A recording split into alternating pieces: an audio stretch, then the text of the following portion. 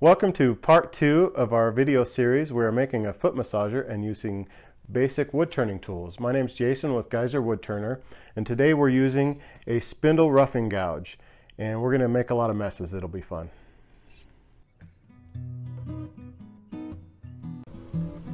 The first tool that we're going to be using on our project is called a spindle roughing gouge and it's generally a tool with a 45 degree bevel, a deep flute, and a small tang that goes into the handle. And we use this tool between centers on a lathe. And we're not going to want to use it on a bowl or anything like that because it's only designed to be used for spindle work.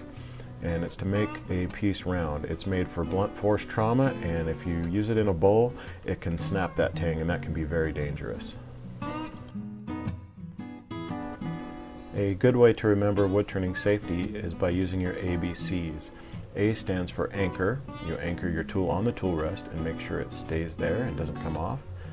B stands for bevel, and that is the end of the tool, and you make sure that your angle is set correctly. And then you make your cut, and you lock that handle into your body at that angle, and you move across the tool rest. Set the angle properly by holding the handle down low and then raising the handle up until you get the proper angle for your cut. Always remember that wood can come off the lathe, so I recommend using a full face shield, or if you're doing something smaller, at least eye protection. In the last video, we talked about how to safely turn on your lathe, and then we're going to practice our ABCs. So anchor it on the tool rest, rest the bevel on the wood, raise the handle until we get that cut, and then move across the piece. And we're always going to be wanting to work from uphill to downhill, or the highest point to the lowest point. The idea here is to take just a little bit off at a time in a series of passes. I always say that you don't want to eat an entire pizza all in one bite.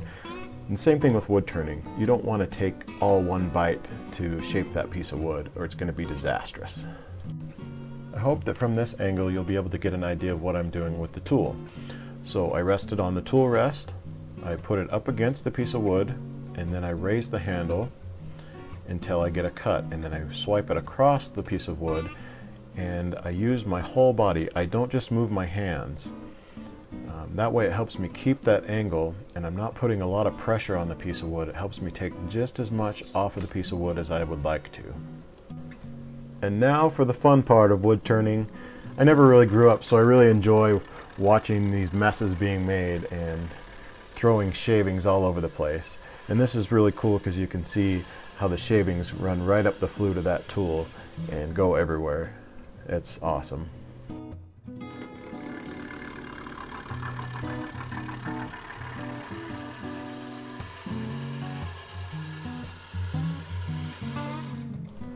As I work my way to the other end, I want to remain going from high point to low point. So I'm going to start at the other end and continue to go from that high point to the low point on my wood blank and that way I'm not going to go against the grain and it's not going to tear any big pieces off at a time. I can continue to have small bites and small passes until I get this piece completely round. One of the ways you can check to see if you're round is by lightly resting your fingers across the top and feeling for any bumps. You can also rest your chisel on the top and if it bounces you're not round. If you present the ground bevel on the end of your tool to the wood with the handle low, you're not going to get a cut at all. If you raise it a little bit, it'll get a cut. If you raise it a little more, it'll get more aggressive. So you can see how you have a lot of control with the handle. So if I drop it down, no cut at all. As I raise it up a little bit, I get a cut.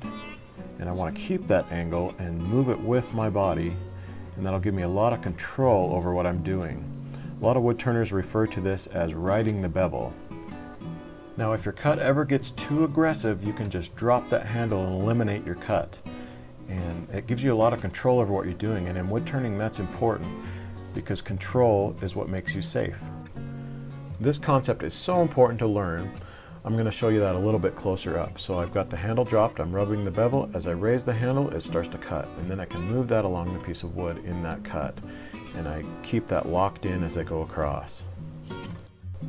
So again, with the handle dropped, no cut, raise it, cut, no cut, and cut. Another cool thing you can do with a spindle roughing gouge is rotate that gouge to the side and it presents a sharp edge to the workpiece. Now if you see me doing this in a video, it's not because I have to, it's just because I like that sharp edge. Thanks for joining us in part two of our video series on using beginning wood turning tools. In this video we used a spindle roughing gouge and we made a blank round that we're going to use for our foot massager. In the next video we're going to use a parting tool.